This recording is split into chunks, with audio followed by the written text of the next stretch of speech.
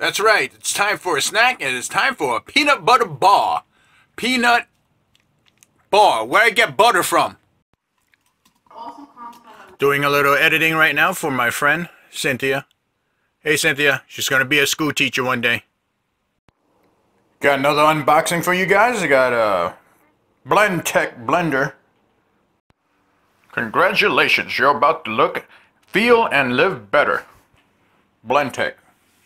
Right on. Yeah, there it is. This is what it's looking like. Yeah, it's like them smoothie machines up in uh, Jamba Juice. Let's see what kind of ideas they have in here for you.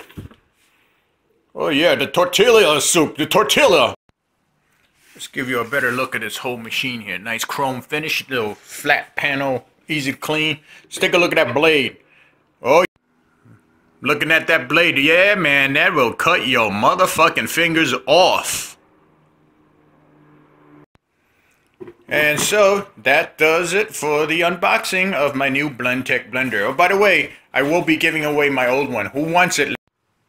The blender that I'm giving away is a Cuisinart brand, and it also comes with this Whopper chopper attachment, which I rarely use. As a matter of fact, those of you that are interested in this blender, send me a private message, and I'll put it into this container, and I'll raffle it off. How's that sound? Just in case you guys thought I was joking around about the giveaway, I am actually very serious. So hit me up, and good luck. We're about to go kick ass tonight in the form of softball. Men of Mayhem. We'll see you at the park.